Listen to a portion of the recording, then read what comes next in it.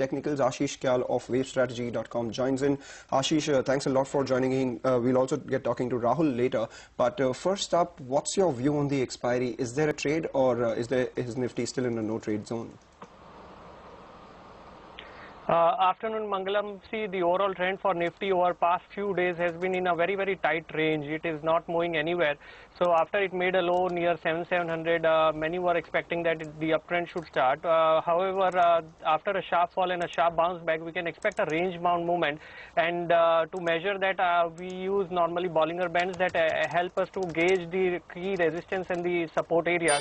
So the support for Nifty comes around 7800 and the resistance is around 7940. So unless and until we see a very decisive close either below that uh, 7800 or above 7940 we can expect this sideways action to continue. And expiry can be in the range of around 7900 which is the average of this. So uh, we expect that after the expiry some momentum should uh, build up and probably the breakout should happen on the upside. Uh, the broader market has continued to uh, do well. Uh, mid cap index has continued to form a good base and has been inching higher so eventually the breakout even on nifty should be on upside upside, but looking at the banking index is going to be very crucial uh, during this phase. Okay, so that... Buy call on SpiceJet, that one actually came uh, off the day's high as we speak. And Sasken Communications as well. Can you take us through both your uh, recommendations? Uh, yes. Uh, see, SpiceJet has uh, shown a very, very strong momentum uh, from the level of 20. It formed a very strong base around uh, the zone of 20 to 30. And post that, we have seen the impulsive upside move. And uh, currently, price can be probably in the fifth wave. Uh, so momentum can be slow, but the trend remains def definitely positive as long as the stock trades above the level of 50.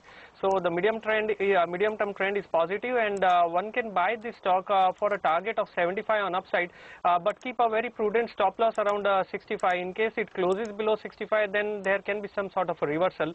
Uh, the next uh, buy call is uh, going to be on Sasken Communication. Uh, this stock has uh, showed a very strong up move and has uh, now moved higher by even 10% in today's session. I think these these trends should continue for a few more sessions, and one can keep a stop loss of 360 on Sasken, and target can be expected at 470 on the upside.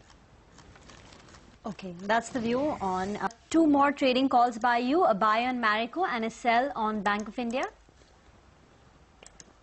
Uh, yeah, Reema, see, Marico has uh, formed a very good base around uh, the zone of 410 and 380 levels. And after that, it has uh, shown a strong impulsive up move. So I think the trend should continue in the form of third wave on upside. Uh, so one can maintain a stop loss of 420 and expect a target of 460. And if the momentum picks up from here, then it can even exceed the level of 460 uh, on the charts. And uh, the next is uh, sell on Bank of India. Overall, we have seen some pressure building up on the PSU side.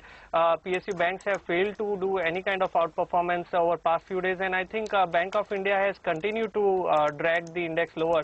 So uh, I think uh, Bank of India should continue to move lower, and uh, one should maintain a stop loss of 133 on the stock, and uh, target can be expected at 113 to 115 on downside.